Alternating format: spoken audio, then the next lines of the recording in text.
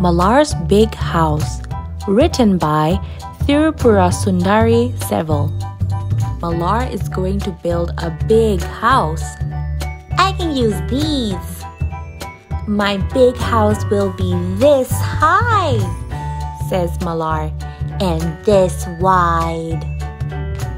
Malar stacks the tumblers one over the other. All the tumblers fall down. Dang, dong, dong. Malar picks up the tumblers and tries again. They fall down again. Malar thinks hard. She tries again. This time, the tumblers don't fall. Up, up, up they go.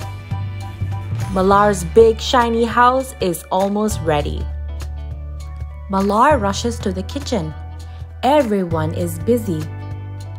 What do you need, Malar? asks Appa.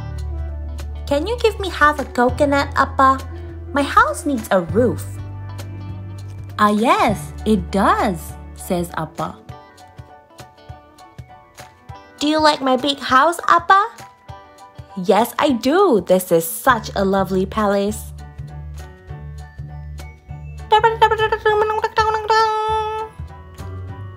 What will Malar build next?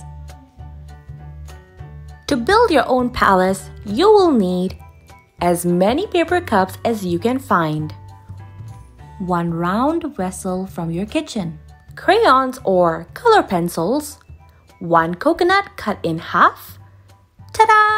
Your palace is ready. The end.